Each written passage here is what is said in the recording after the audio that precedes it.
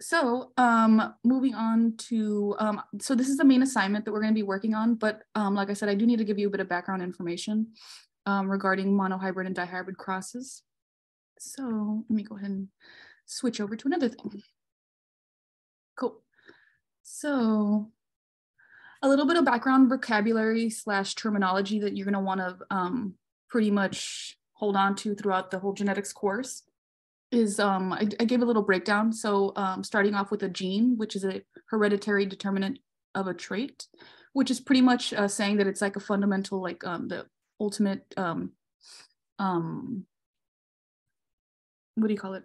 Sorry, I'm kind of brain farting here. Um, like a, never mind. So yeah, just go on, uh, go on with this uh, definition here. I just had a little brain fart, sorry.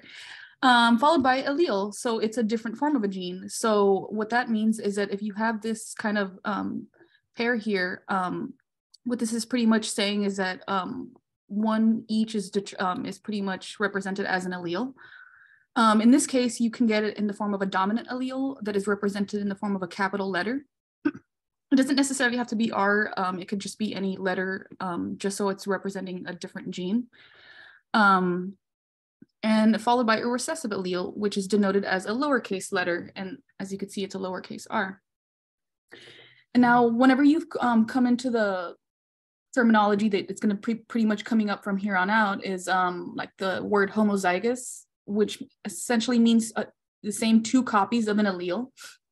And then um, right here in this example, this is pretty much what it means by homozygous, where you have the same two copies. You have um, two dominant alleles here, as well as here, um, where you have two um, homozygous recessive alleles because they're denoted in a lowercase letter and I do have an example here, um, like with a random trait to kind of follow here is for eye color. So um, we would determine, or not determine, but just kind of state that the brown-eyed trait is um, a dominant allele um, denoted in the as a capital B. And for blue eyes, it would be denoted as a recessive trait or a recessive allele, I'm sorry, in the um, form of a lowercase b. So if you, oh, I just noticed that these are R's and they're not B's. Oh, just change this to R so it follows it. Sorry, I didn't realize that I had different letters here. There you go. So, um, so yeah, if you have something that is referred to as a homozygous dominant, it, what it's essentially saying is that you have the same two copies of the dominant brown allele. Homozygous recessive is that you have the same two copies of the home of the recessive allele for blue eyes.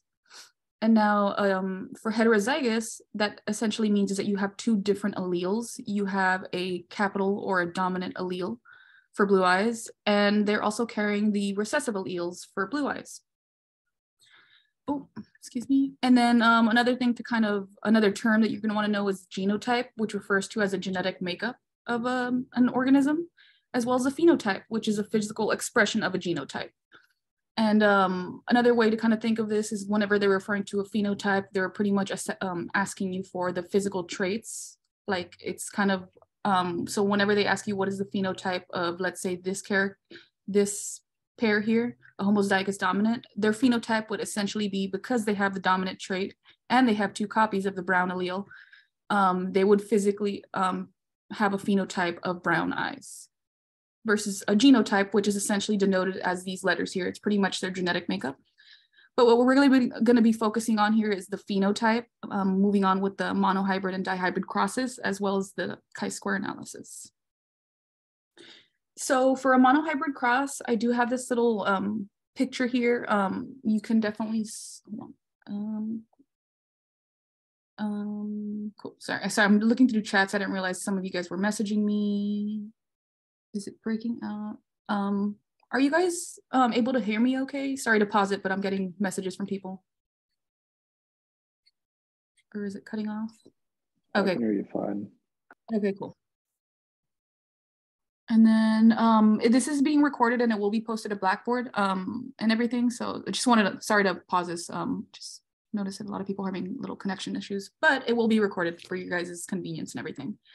But um, moving on to this monohybrid cross here. Um, so for a monohybrid cross, you're gonna wanna focus on the word mono, which is essentially kind of highlighting that we're kind of assessing for one gene here. And in this example, it's assessing for gene color. The gene for um, seed color here is denoted um, in the form of the letter Y. So the um, dominant allele is for yellow. As you can see, the capital um, Y is pretty much determined that it's a yellow um, physical expression. And then um, we have the recessive possibility of having a green outcome. So for a monohybrid cross in Mendel's exper um, experiments with working with like um, seeds and everything and plants and whatnot, um, he started off with pretty much having these two homozygous parents in the P generation. And it's called a P generation for parent generation. and um, here, um, the parent generation only produces one kind of gamete and remember, gametes are pretty much sex cells, um, like the sperm and egg and everything. And remember that gametes are haploid, so they only carry one copy or one chromosome. Um, so whenever they actually do fuse, that's how you get diploid individuals, or the way you are as an individual, you have two copies, so you have 46 chromosomes. So, but moving on.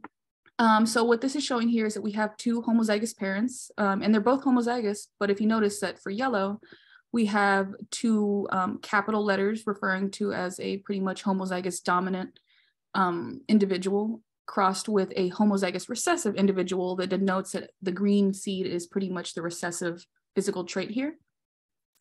And then um, just think of these as individuals. So whenever you do cross these guys, you get your F1 generation that produces hybrids. And um, and what it's meant by hybrids is um, you get hybrids whenever you cross two um, true breeding parents. And what I mean by true breeding is that they produce only offspring that look like themselves whenever they self-pollinate. So if say this guy were to self-pollinate with himself with just yellow and yellow, all that's going to just keep reoccurring is that yellow physical expression. But yeah, but uh, moving on, uh, we get that F1 hybrid here that we got from the crossing of our true breeding parents. And if you notice that you guys, um, I'm sorry, the outcome is that you get a 100% heterozygosity here. And what I what I mean by that is um, that you have two different copies of the allele. So now you have the capital Y for a dominant yellow allele, as well as a lowercase um, y denoting for the green allele.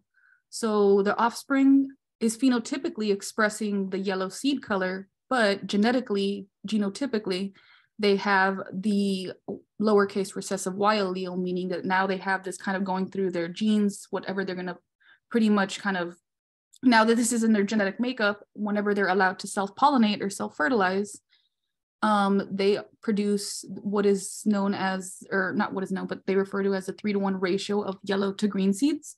and if you notice here, we do have all these three are yellow, but if you notice genotypically, these two are the same where they have the um, a capital Y and a lowercase y, phenotypically they are yellow. Um, and as well as this two capital Y's that is referred to also as yellow. So if you notice here in our phenotypic ratio, this is our physical expression. So physically, they are going to be yellow um, three out of the four opportunities or whenever they're self-pollinate, um, they have a three and four, three and four, three out of four chance of producing yellow physical um, expression. And then they have one out of four chance of producing this um, homozygous recessive physical expression here.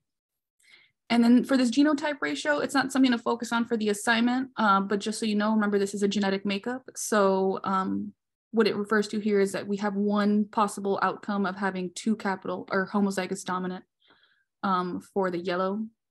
And then we have two outcomes here. So we got two um, opportunities, two out of four that are um, heterozygous dominant for the yellow gene.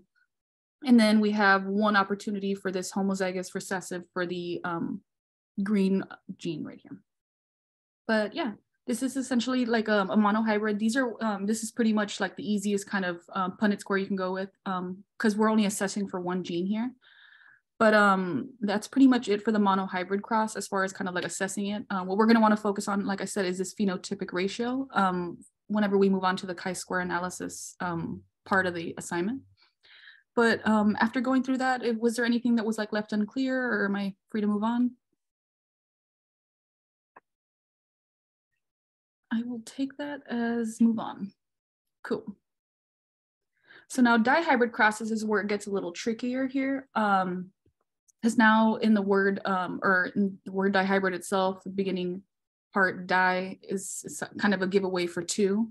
So now we're assessing for two genes here. We're assessing for seed color and seed shape where the letter Y's um, are for the seed color here, but you notice we have the opportunity of getting a yellow and a green seed color. And for our seed shape, we can get round and wrinkled. And right here for this um, um, homozygous recessive parent here, you could see how it's a little shriveled up. That's what it means by like wrinkled.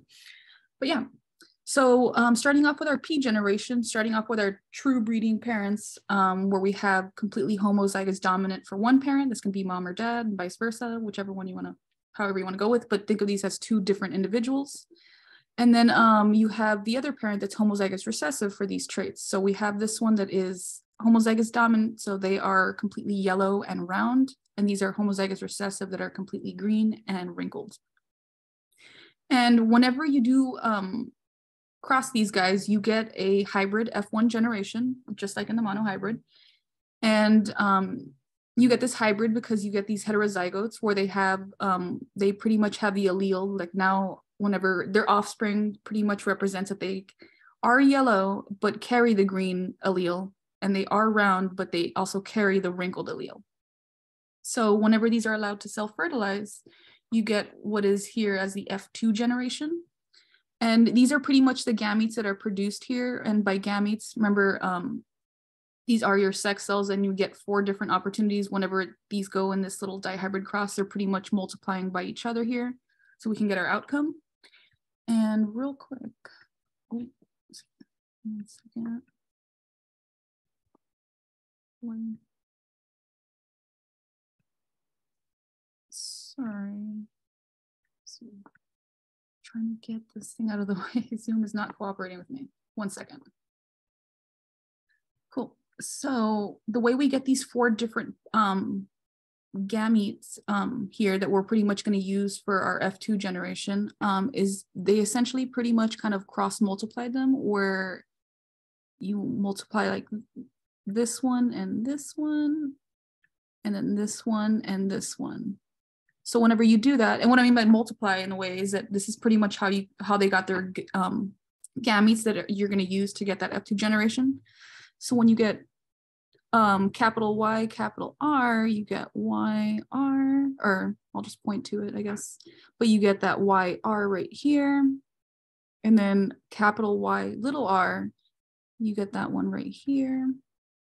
Little y, little r, you get that one right there and then little y big R, you get that one right there. Um, so these are the four different gametes produced that you're going to use to pretty much do that F2 generation and, you know, fill out the square. And um, is everybody pretty much familiar with how um, they're filling out the square? They're pretty much kind of bringing um, each allele down and kind of multiplying them and pairing them up and everything. Is everybody pretty much familiar with that? Cool. So um, Notice how this one we have a phenotype ratio here, which is nine to three to three to one. And the way we get that is by, um, I know it doesn't necessarily give out the um, alleles here, but this is yellow and round. Remember yellow and round should be denoted as capital letters. So we're gonna pretty much um, count for these nine um, um, out of 16 possible outcomes. And 16 because um, there are 16 outcomes here, whenever four by four is 16 total. So we're going to count all of these guys. So we got YR right here. This is one of those. YR right here, another one of those.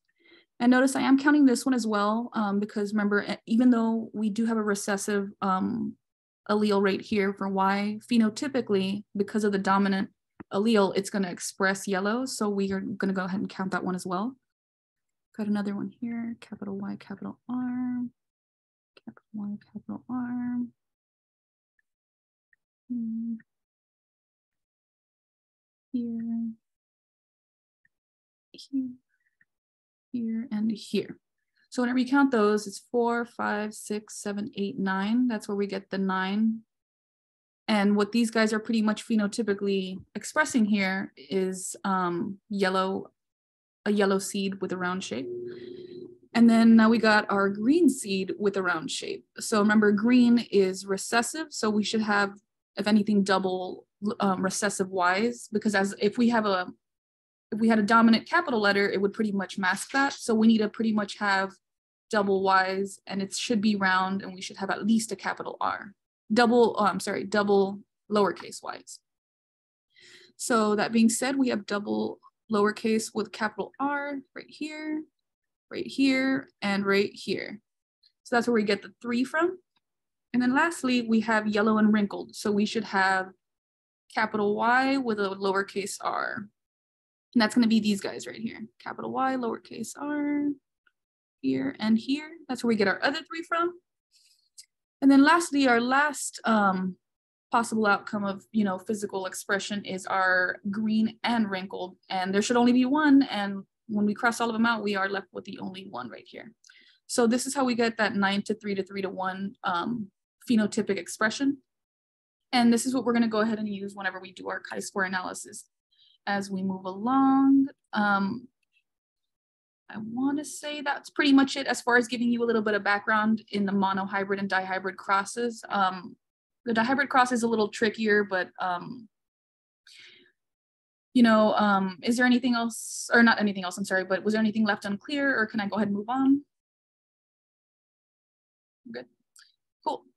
So that being said, um, like I said, we're gonna wanna focus on these ratios here because we're gonna be performing a chi-square analysis um, on the assessment of whether, you know, um, following Mendelian genetics, do we get these phenotypic ratios? And let me go ahead and share a new screen here. Um, So hopefully you all are seeing this, but um, I switched it to the assignment that's pretty much that you all are gonna be working on. So we're, we're pretty much gonna be using um, is that statistical st test that I mentioned, that chi-squared goodness of fit test. And what we're pretty much doing is to pretty much compare um, actual observed data to any kind of model results. And um, let me go ahead and elaborate here. So the chi-square test, um, I'm not super sure if Excel can do this through the computer. Maybe you can, I'm not super sure. But doing it by hand is relatively pretty easy. And I'm gonna go ahead and give you an example um, on how to do this. But this is pretty much the, um, the chi-square analysis formula here, um, where O is pretty much the observed data, the observed number of data points that you saw for a given trait versus the expected um, data points you saw for like a given trait. And then K here, um, it's not relatively necessary for the equation itself, but you're gonna wanna have K as a number of data classes here. Um, and I'll go further whenever we do the examples as what K is. And um, some things to take note is that for for these, for the chi-square analysis that you're really gonna wanna have these like to pretty much get it like for the full assessment of chi-square analysis, you're gonna need what is called a, a number of degrees of freedom where you subtract that k value that I'll go ahead and explain further, um, k value minus one, um, you're going to need to have like an H null. And this, what this is pretty much saying is a null hypothesis that is referred to as um, like what you expect to be true. In this case, our null hypothesis is that Mendelian inheritance is occurring and phenotypic ratios should express the way we know them to be. Um, as well as a p-value, um, this will become important for the analysis of the chi-square test itself, as well as the chi-square value itself um, for whenever you do go into the assessment and um, plugging it in to see what your, um, whether you accept or reject this hypothesis of yours. But yeah, um, and but before we do this chi-square test, I just want to tell you what you guys are going to be doing in the sense of getting the data for this chi-square test. So we're going to be doing it on corn, um, assessing for any kind of deviations, whether um, this Mendelian genetics is or is not occurring in the normal ratios that we expect them to be. And you're going to be doing two different chi-square analysis, one for a monohybrid cross and another one for a dihybrid cross. And for the monohybrid cross, um, it gives you that breakdown here that I showed you earlier of, you know, doing the little um, whole genetics starting with our P generation, um, you know, um, breeding those, getting our hybrids, and self-pollination gets us this outcome where we have that three to one phenotypic ratio. And what we're gonna wanna do here is, um, so since this is a monohybrid cross, remember for our monohybrids, it had that phenotypic ratio, three to one.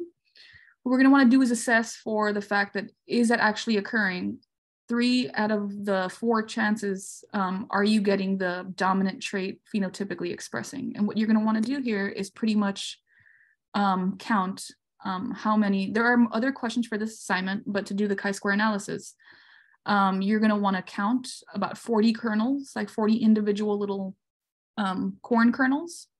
And you can do that by, you know, um, I guess, uh, through the photo here, and you can use that little draw um, little thing to kind of mark which ones that you're counting and just count random 40, like 40 random ones.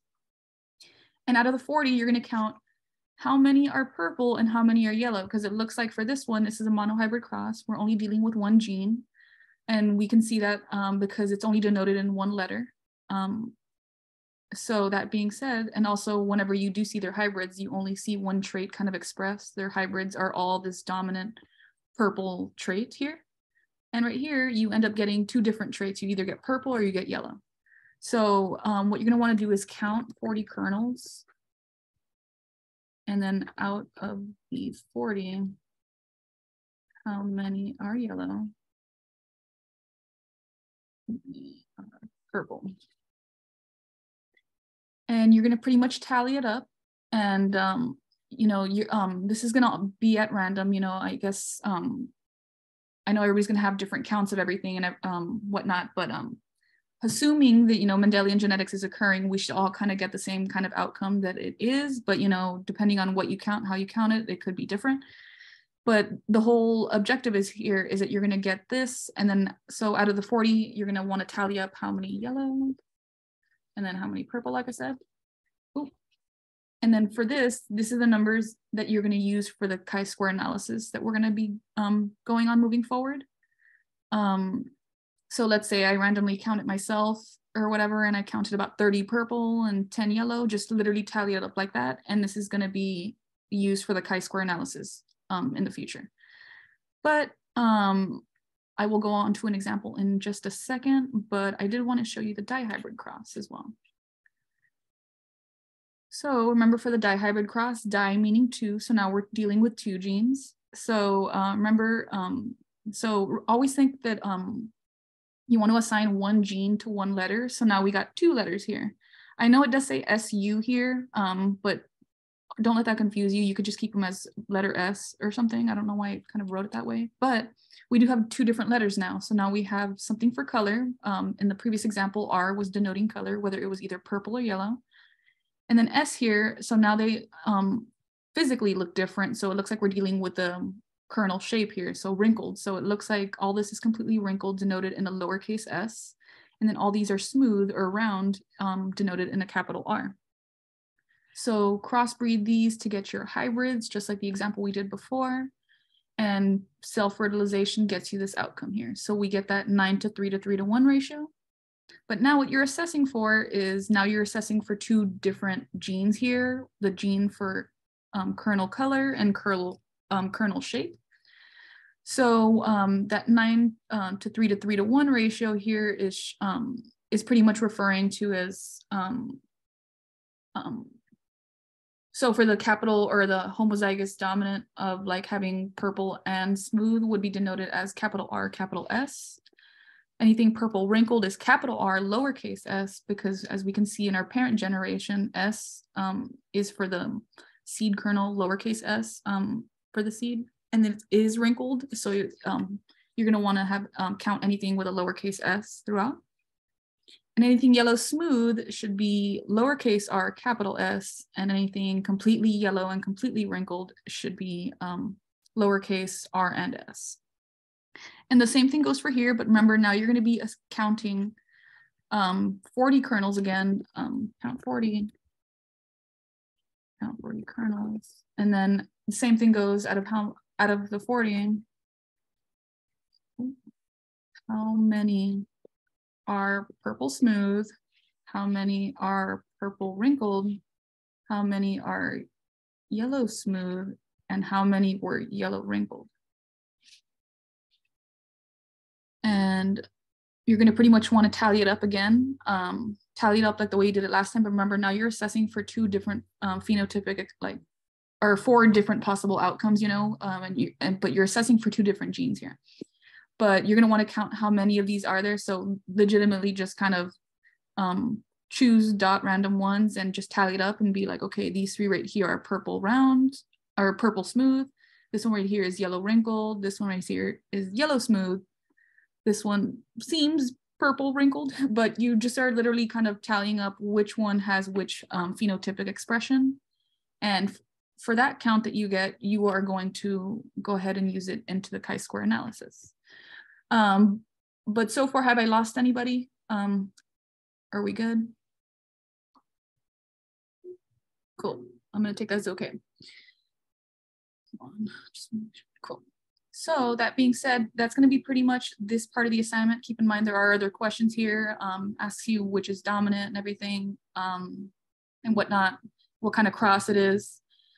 Um, but that being said, let me go ahead into the chi-square analysis part.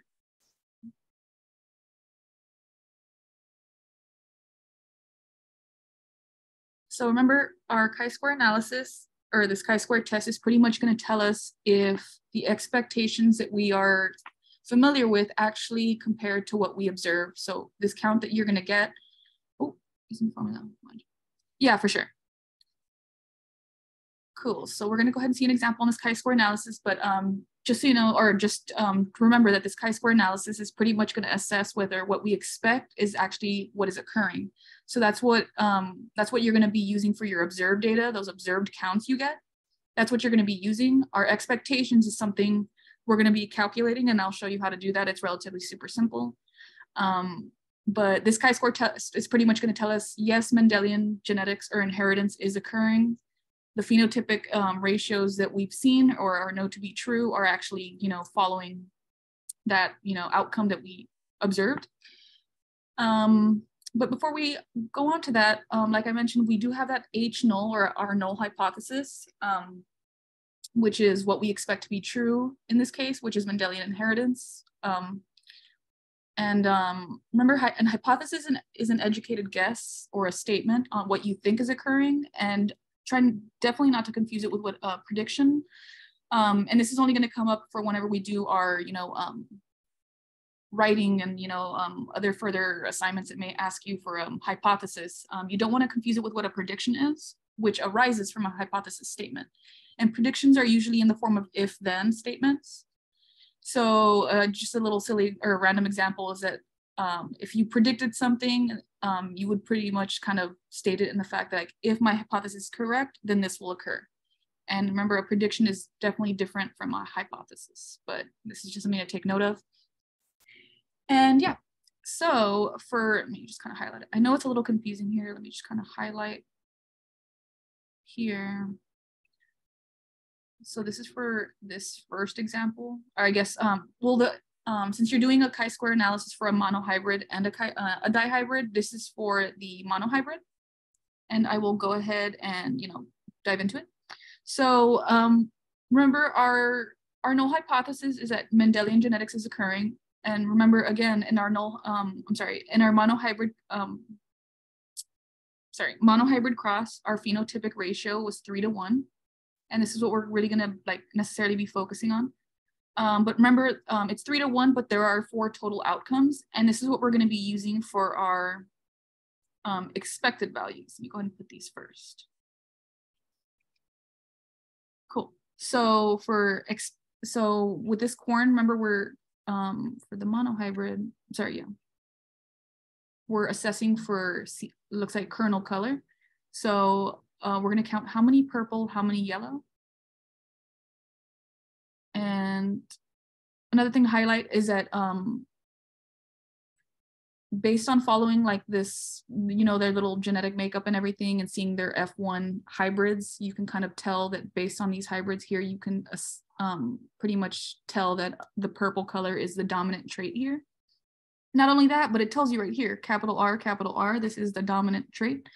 So whenever um, making your counts, you're gonna kind of wanna hope slash assume that you're going to get more purple than yellow. Oh, there you go. So um, that being said, um, you're going to want to get more purple than yellow. Um, so that's where you that uh, phenotypic ratio comes into play. Remember that phenotypic ratio is highlighting that three out of the four chances you're going to um, three out of the four chances of you getting offspring with a dominant trait. So that's what you're going to pretty much do to get for your expected counts for your purple. you're gonna pretty much multiply three out of four.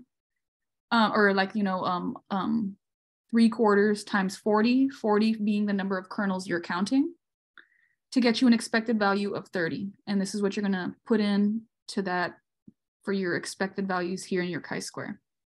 And then expected for yellow, uh, remember you get a one in four chance that you get a recessive um, yellow trait. So whenever you multiply um, a quarter or one fourth times 40, again, 40 being the number of kernels that you're required to count, um, this gets you a value of 10. So this is our expected for these values. So that being said, um, in my example here, I didn't count them. I'm just kind of throwing out these random numbers. So the observed values is what you guys are gonna count. So the observed that I got, let's say I did it, I got 28 purple and I observed 28 yellow, I'm sorry, 12 yellow. Um, now I can go ahead and plug this into my chi-square test because all we need to do is essentially do the sum of this whole kind of equation. So you're going to be doing this pretty much multiple, multiple times. It's going to be like this plus this. It's going to pretty much kind of do it plus. That's what the sum means. You're going to do it multiple times or, you know, kind of add it together to get your um, answer. And what I kind of mean here, I know that kind of sounded a little silly, but what I mean here is by doing essentially this.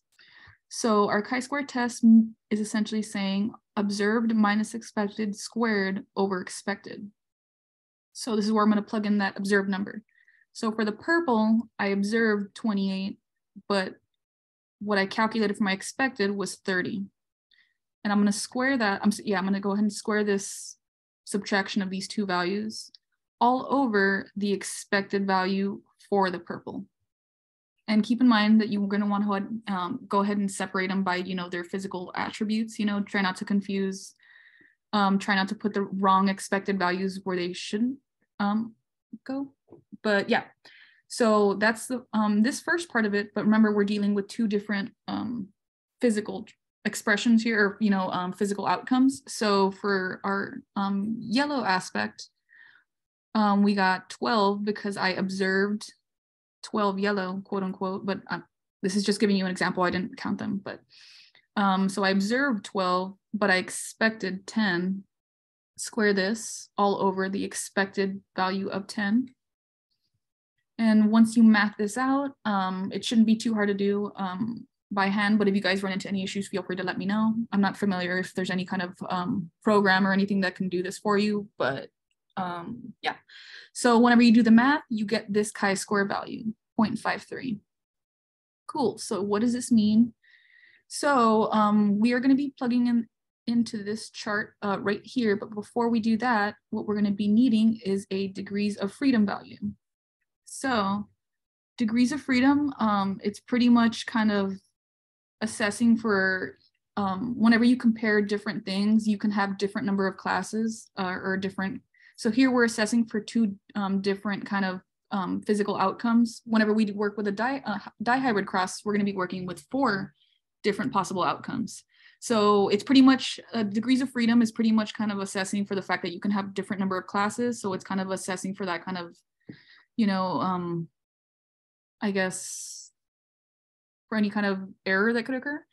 But um, degrees of freedom, this is a um, little formula for it. It's essentially k minus one, k being the number of classes and data classes. And in this case, we have two different, like I said, physical expressions or different outcomes. We can either get purple or yellow. So that's where you get the two from. And then it's going to be essentially two minus one to get you this value that you really, really, or that you're going to be moving forward with. This is what your degrees of freedom is for the monohybrid cross, two right here. We're going to want to be focusing on this number.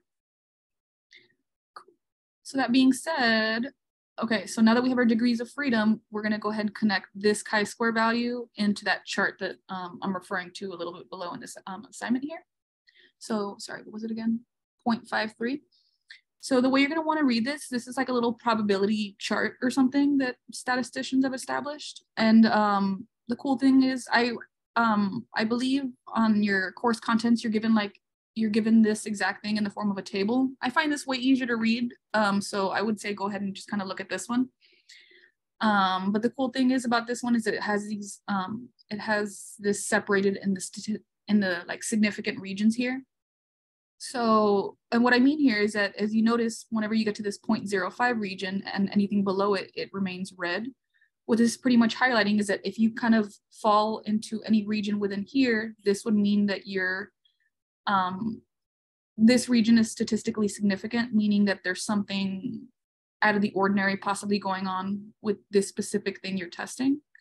If you um, get an outcome that falls within this region, it means everything's as it should be. You fail to reject the null hypothesis. Everything is occurring as it should. But let me go ahead and actually plug in that value that we got. So we got 0.53. So um, it's a little bit in between this guy. So I'm gonna be making pretty much like a guesstimate here. So and that's totally fine. So 0.53 is within this middle region here. So what you're gonna wanna do along with your degrees of freedom, as you can see here, it has different degrees of freedom. Um, our degrees of freedom for this monohybrid chi-square analysis is one, as we just calculated. It was k minus one, two minus one. This is what we're pretty much gonna follow. As soon as we work our way up along um, the y-axis, we're gonna go ahead and wait until we kind of intersect with that first degree of freedom line. Here we go. Then we're gonna work our way left along the x-axis and follow that line to give us our p-value which is 0.5 right here. Again, the way I read that is we got our chi-square value 0.53, kind of guessing that it's around this region right here, worked our way up until we intersected with this first degree of freedom line. We don't want to go any further because obviously it would give us a wrong result, but our degree of freedom is one. And then work our way along the x-axis to get us that 0.5 p-value.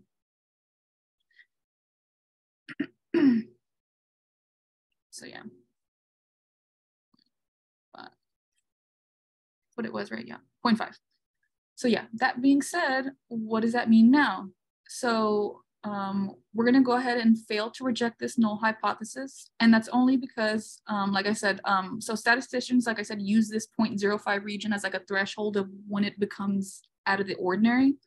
So because our p-value ended up in this nice blue region here, um, it ended up um, being not statistically significant. So this that being said, Mendel's um, laws of inheritance are occurring as they should. Nothing is out of the ordinary. We are physically seeing that the outcome of what I observed, that three to one ratio, is actually occurring.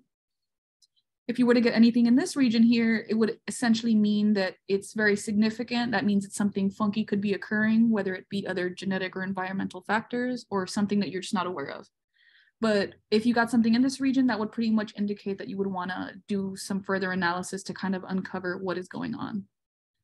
And I do have this here. Um, this is like a cool little breakdown of essentially like um, what these values mean again. Um, so anything, if you get a p-value that is less than that 0.05 threshold is statistically significant, as I said. And anything greater than, and um, is not statistically significant, where we fail to reject the null hypothesis. Oh, Underline here. And then at our result here, what did we get a p-value of again? I'm sorry, it was 0.5, right? Yeah, it was 0.5. So, and that's especially proven here because our p-value is definitely 0.5 and it's definitely greater than 0.05. So this is also not like this is just kind of proving also an indicator that um, the outcome in this example that I did, uh, we're failing to reject the null, which means that we're like um, nothing out of the ordinary is going on. So this is just pretty much what it does really. Um, if we got some something out of the ordinary here where I, I fell into this region, I would pretty much reject the null hypothesis and I would have to state that you know, Mendel's laws of inheritance um, are not occurring. It could be some other kind of, you know, biological process that's disrupting this. Um, but yeah, and that was for the, and this was a essentially a chi-square analysis for the um, monohybrid cross. Have I lost anybody or was that pretty straightforward? Good. Cool. So um, I will help you guys set up by doing an example for the dihybrid cross, but I didn't do the complete analysis of it. Um, but I will help you kind of set it up because now that we're assessing for two genes, remember we have four different outcomes, so we have a different degrees of freedom value. as well as a different phenotypic ratio to be assessing for or to be kind of observing for. So that being said, so expected, move these here. So this is going to be for a dihybrid cross. I'm just kind of highlight this different color. This is a different example. No, hopefully this isn't too loud. Okay. Oh, part of this too.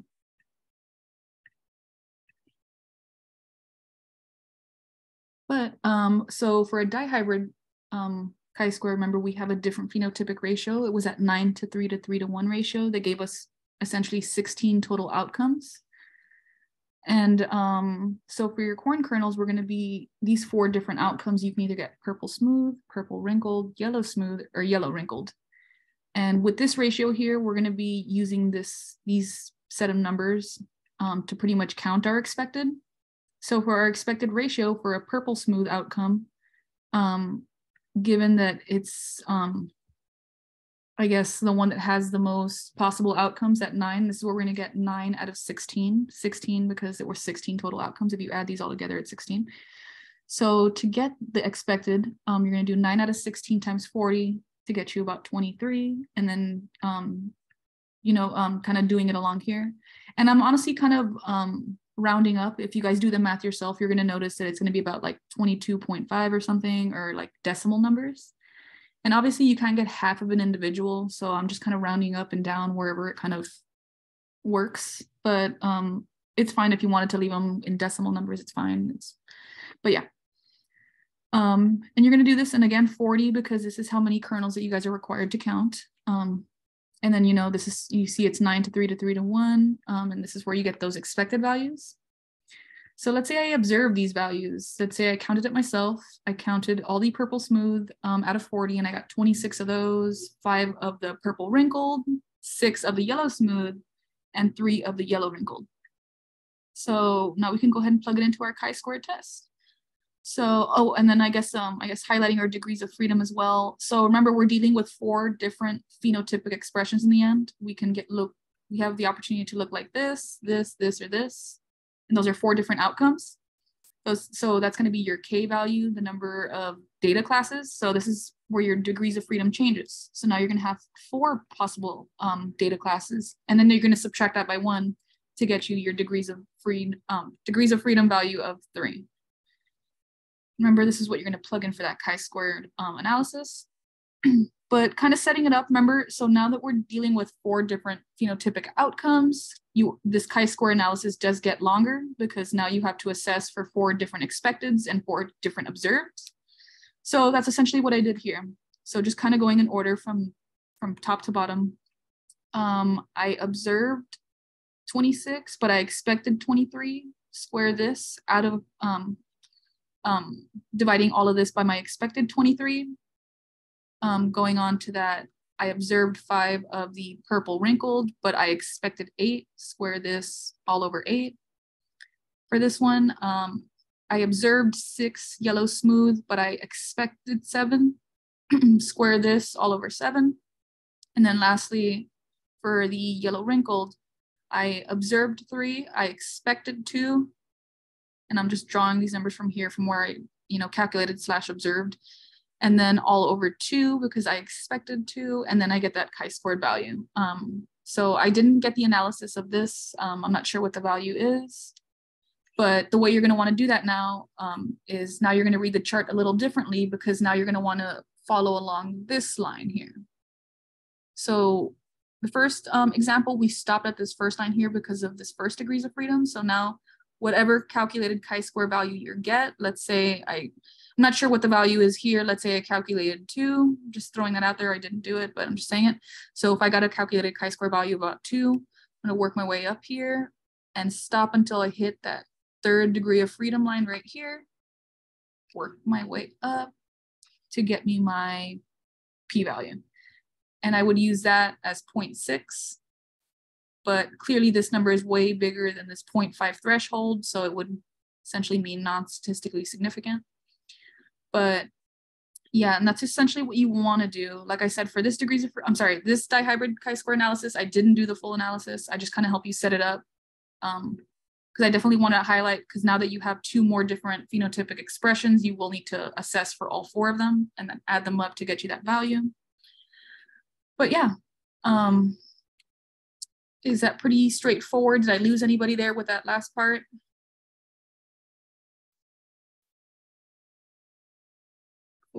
Um, I want to say this is probably one of the last topics to go over here. But yeah.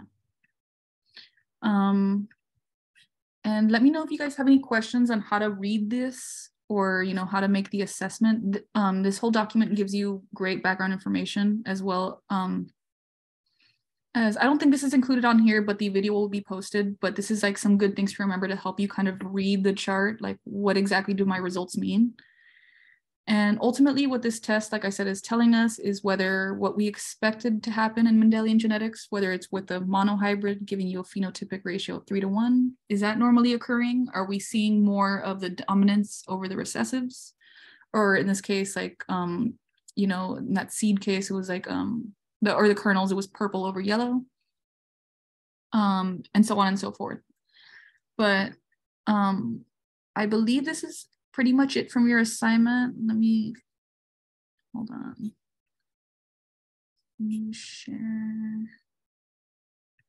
Just kind of open the assignment with you just so I can see whether I forgot to cover anything. So here's y'all's assignment so it's just following along that document, that Word document, it's copying a lot of these same questions. I'm wondering if it's gonna ask you. Yeah, so um, if you guys have any questions on how to um, assess for it, just keep in mind it does um, ask you to kind of give you like to give an answer like, so do you accept or reject the null hypothesis or is it significant or anything? That question does come up and it will come up for both for the monohybrid and dihybrid. So, um, but like I said, um, I know Dr. Cook said that you all haven't covered it yet.